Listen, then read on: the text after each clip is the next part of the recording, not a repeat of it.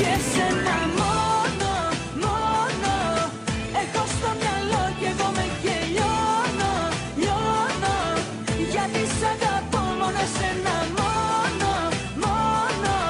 Πώς να σου το πω τέτοια αγάπη Μια φορά συμβαίνει μόνο, μοιάζεις εκατό Το βράδυ του Σαββάτου η Ελένη Μενεγάκη μαζί με τον Μάκη Παντζόπουλο αλλά και τον αδελφό της Θοδωρή Μισόκαλο έφτασαν λίγο μετά τα μεσάνυχτα στο νυχτερινό κέντρο όπου εμφανίζονται με μεγάλη επιτυχία ο Πάνος Κιάμος και η Αγγελική Ηλιάδου.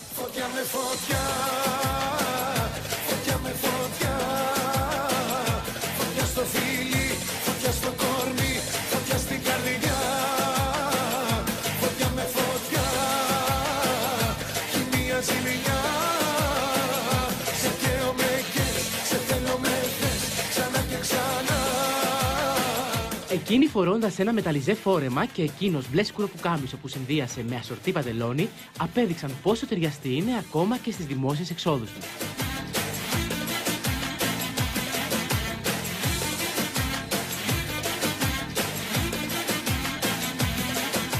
Το ζευγάρι έφτασε στο νυχτερινό κέντρο με το τζιπ της παρουσιάστριας ενώ με χαμόγελο απαντούσε στα σχόλια των θαμώνων του νυχτερινού κέντρου.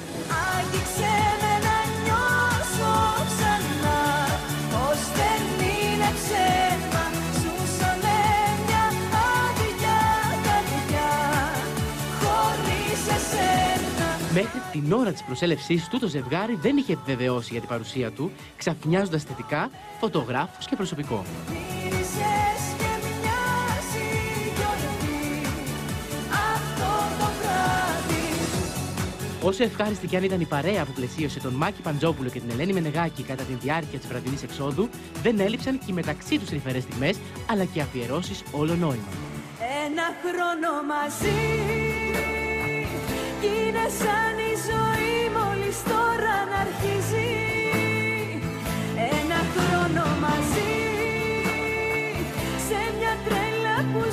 και επιτέλους αξίζει.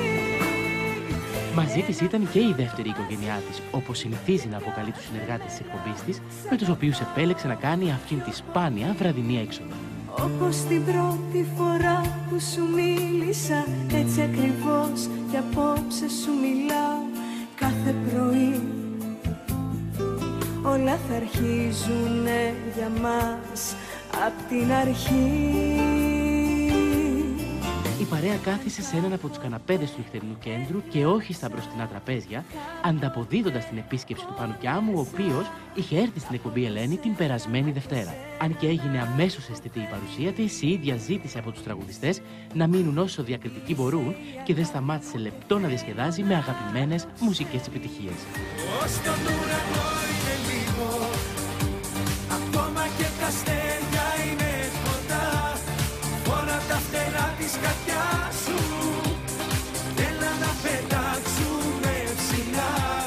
Καθ' όλη τη διάρκεια της νύχτας, η Ελένη και ο Μάκης ήταν αχώριστοι και δεν σταμάτησαν να ανταλλάσσουν αγκαλιές και καυτά φιλιά, δείχνοντας πόσο ερωτευμένοι είναι μετά τη γέννηση της κόρης τους Μαρίνας.